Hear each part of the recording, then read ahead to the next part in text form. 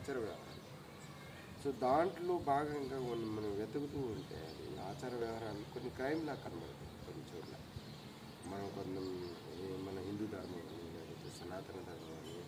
లేకపోతే ఇస్లాం ధర్మం కానీ బైబిల్ ధర్మం అని చెప్పి అవి అట్టగట్టుకోవచ్చు ఆ స్టార్టింగ్లో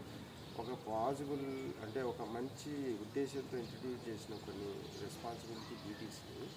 రాను రాను అది ఒక క్రైమ్ లాగా కనబడుతుంది కాన్స్టిట్యూషన్ డెమోక్రసీ ప్రాసెస్లో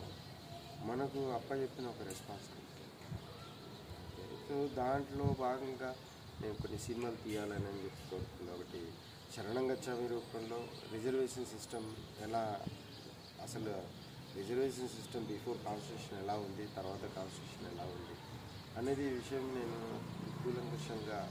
ఒక కామన్ మ్యాన్ ఎలా ఆలోచిస్తాడు రిజర్వేషన్ సిస్టమ్